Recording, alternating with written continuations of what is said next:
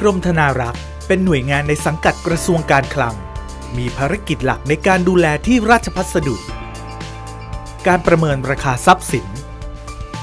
การดูแลทรัพย์สินมีค่าของแผ่นดิน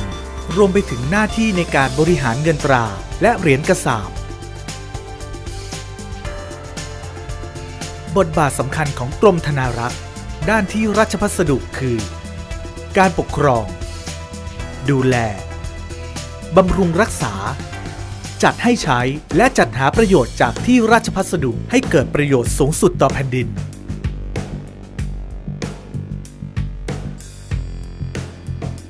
ในด้านการประเมินราคาทรัพย์สิน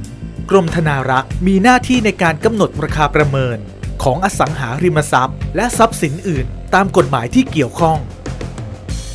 โดยมีเป้าหมายหลักที่จะสร้างมาตรฐานที่ชัดเจนและเป็นธรรมให้กับสังคม ในการเก็บค่าธรรมเนียม จดทะเบียนสิทธิ์ และนิติกรรมต่างๆ รวมไปถึงการจ่ายค่าชดเชย การเวรคืนจากรัฐ และเพื่อให้การจัดการที่ราชพัสดุเกิดประสิทธิภาพสูงสุด ทั้งในเชิงเศรษฐกิจ สังคม และสิ่งแวดล้อมควบคู่ไปกับการประเมินราคาอสังหาริมทรัพย์ ให้ได้มาตรฐานสากล กรมธนารักษ์จึงได้นำเทคโนโลยีที่ทันสมัย มาใช้เป็นเครื่องมือในการบริหารจัดการข้อมูล ให้เกิดประสิทธิภาพสูงสุด โดยการสามารถวิเคราะห์ข้อมูลนำเสนอภาพรวมของข้อมูล และดูรายละเอียดของข้อมูลได้อย่างถูกต้อง แม่นยำและรวดเร็วยิ่งขึ้น ระบบสารสนเทศภูมิศาสตร์ เพื่อการให้บริการ ระบบสารสนเทศภูมิศาสตร์ เพื่อการให้บริการคือเครื่องมือสำคัญ ในการบริหารจัดการข้อมูล บนระบบแผนที่ออนไลน์ ที่อำนวยความสะดวกให้กับทุกฝ่ายที่เกี่ยวข้อง ตั้งแต่ผู้บริหาร เจ้าหน้าที่ผู้สำรวจจัดทำข้อมูล ไปจนถึงหน่วยงานและประชาชนผู้ที่ต้องการใช้ข้อมูล ด้วยการทำงานที่ทันสมัยของระบบสารสนเทศภูมิศาสตร์ เพื่อการให้บริการ ทำให้ขั้นตอนการทำงานของเจ้าหน้าที่ ในการเก็บรวบรวมข้อมูลที่เคยยุ่งยากซับซ้อนกลายเป็นเรื่องง่าย จากการเก็บรวบรวมข้อมูล โดยการจดบันทึก ซึ่งต้องใช้ระยะเวลาในการประมวลผลข้อมูลทั้งหมด กลายมาเป็นการทำงานแบบออนไลน์ ที่ง่ายดายเพียงปลายนิ้วคลิก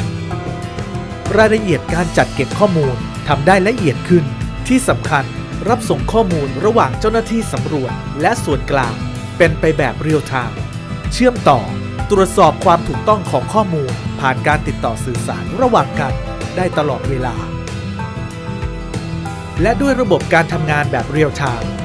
สิ่งที่ควบคู่กับความรวดเร็วของการส่งผ่านข้อมูล ก็คือความถูกต้องแม่นยำและแน่นอนว่า ข้อมูลที่ไม่มีความคลาดเคลื่อนเหล่านี้ ย่อมเป็นวัตถุดิบชั้นดี ในการที่กรมธนารักษ์จะใช้ในการประเมินความเหมาะสม และวางแผนการใช้ประโยชน์ที่ดินแต่ละผืน ให้คุ้มค่า และเกิดประสิทธิภาพสูงสุดได้ต่อไป นอกจากประโยชน์สูงสุดที่เกิดขึ้นกับการทำงานของกรมธนารักษ์แล้ว ระบบสารสนเทศภูมิศาสตร์เพื่อการให้บริการ คือมิติใหม่ในการอำนวยความสะดวกให้กับผู้ที่ต้องการใช้ข้อมูลด้านการประเมินราคา ด้วยการใช้งานที่ง่ายดายผ่านเว็บไซต์และแอปพลิเคชันบนมือถือ ทำให้ไม่ว่าอยู่ที่ใด เวลาใด ประชาชนสามารถเข้าถึงราคาประเมินที่ดิน ได้ทุกที่ทุกเวลา และระบบมีการเชื่อมต่อกับ GPS นั่นหมายถึงทุกข้อมูลจะถูกพลอตกับพิกัดในแผนที่ออนไลน์ ตรวจสอบได้ และไม่เกิดการคลาดเคลื่อนของข้อมูล วันนี้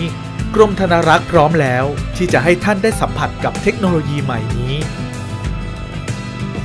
และนี่คืออีกหนึ่งนวัตกรรม ที่จะพัฒนาให้บุคลากรและองค์กร ก้าวไปข้างหน้าอย่างเท่าทันเทคโนโลยี ซึ่งเป็นอีกหนึ่งการเตรียมพร้อมที่จะผลักดันให้กรมธนารักษ์ก้าวไปสู่ AEC ได้อย่างเต็มภาคภูมิ ควบคู่ไปกับความมุ่งมั่น ที่จะให้บริการประชาชนได้อย่างสอดคล้องกับวิถีชีวิต ยุคสมัย